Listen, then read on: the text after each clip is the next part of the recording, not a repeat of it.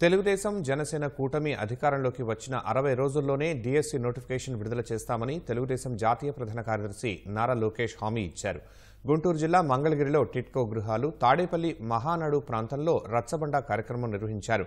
గత ప్రభుత్వం టిట్కో గృహాలు నిర్మిస్తే వైకాపా అధికారంలోకి వచ్చాక అరకొర వసతులు కల్పించి లబ్ధిదారులకు ఇచ్చిందన్నారు.